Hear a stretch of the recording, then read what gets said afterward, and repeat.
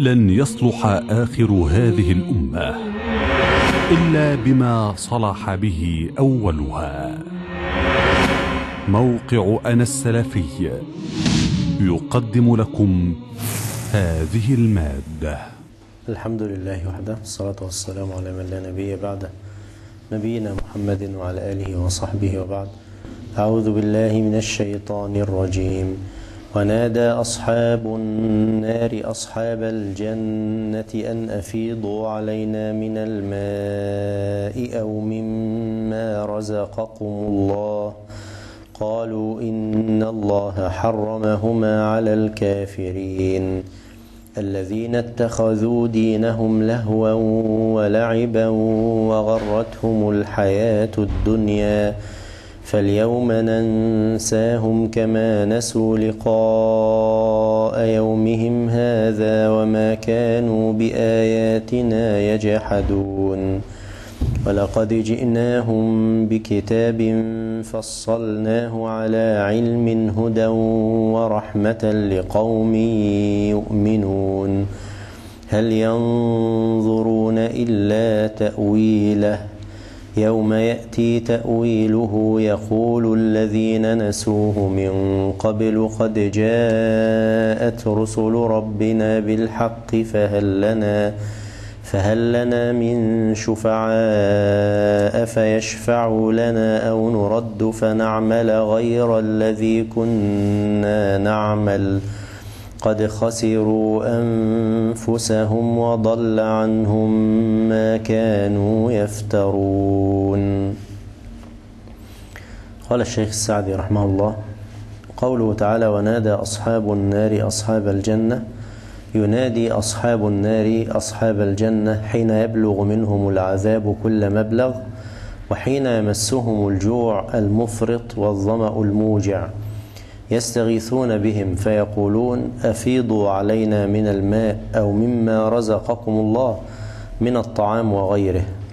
فأجابهم أهل الجنة بقولهم إن الله حرمهما على الكافرين. وذلك جزاء لهم على كفرهم بآيات الله واتخاذهم دينهم الذي أمروا أن يستقيموا عليه ووعدوا بالجزاء الجزيل عليه لهوا ولعبا. لهت قلوبهم وأعرضت عنه واتخذوه سخريا أو أنهم جعلوا بدل دينهم اللهو واللعب واستعاضوا بذلك عن الدين القيم.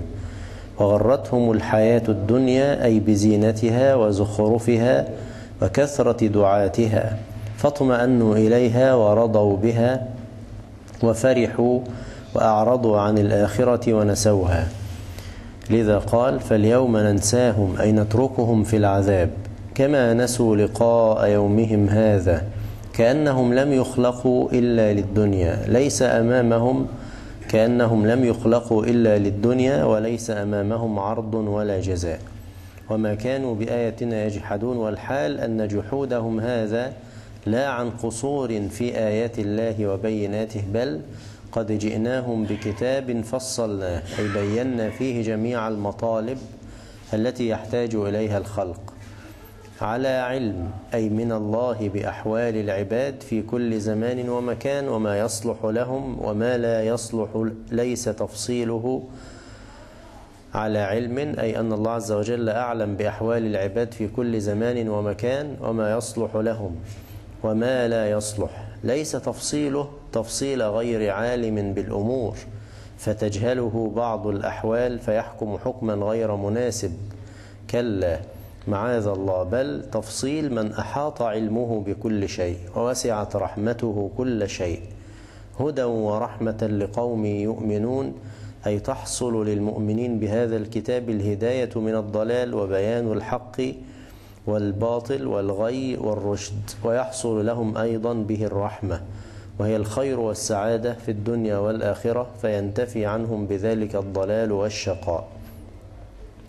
وهؤلاء الذين حق عليهم العذاب لم يؤمنوا بهذا الكتاب العظيم ولا انقادوا لأوامره ونواهيه فلم يبق فيهم حيلة إلا استحقاقهم أن يحل بهم ما أخبر به القرآن.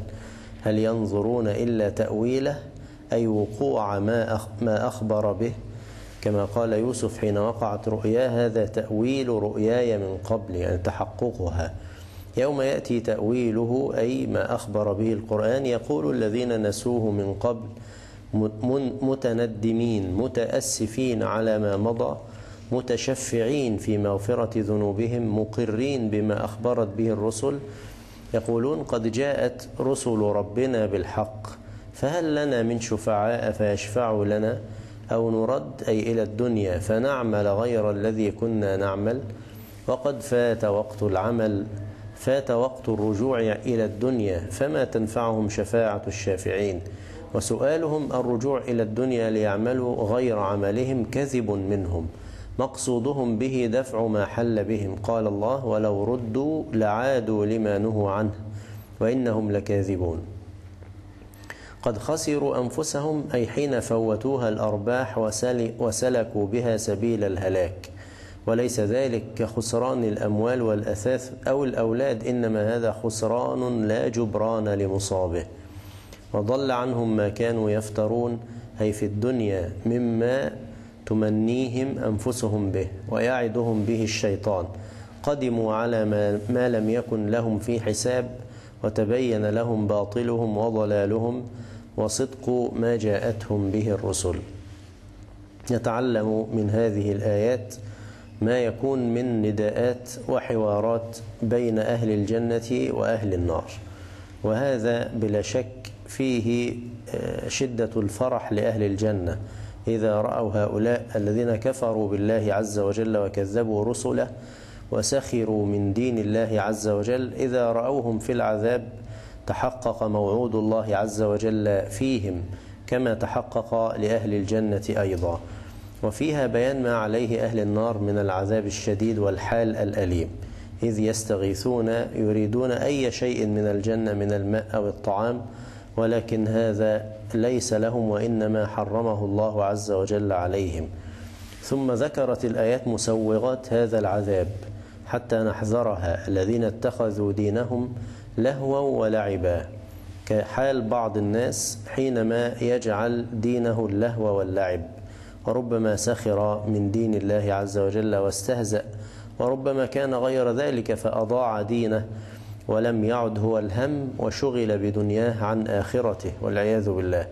واغتر بالدنيا ولم يعمل للآخرة. وفيها دليل لقاعدة الجزاء من جنس العمل فاليوم ننساهم أي نتركهم في العذاب. كما نسوا لقاء يومهم هذا وما كانوا بآياتنا يجحدون. وفيها أيضا أن القرآن فيه تفصيل كل شيء وهو هداية ورحمة لأهل الإيمان وليس على المؤمن إلا أن يحصل ما فيه من الخير والرحمة والهدى بأن يتعلمه ويعمل به. وفيها كذلك صدق الرسل فيما أخبروا به. وبالتالي ليس للمعرضين حجة وليس لهم شفعاء وليس هناك فرصة للعودة مرة أخرى للدنيا للعمل وإحسان العمل. وفيها أخيرا أعظم الخسران خسران الآخرة. خسروا أنفسهم وضل عنهم ما كانوا يفترون. فأي خسران في الدنيا يمكن أن يعوض أما خسران الآخرة فهلاك الأبد وشقاء الأبد والعياذ بالله تعالى. قولوا قولي هذا وأستغفر الله لي ولكم وجزاكم الله خير. قل هذه سبيلي أدعو إلى الله. على بصيرة أنا ومن اتبعني وسبحان الله وما أنا من المشركين.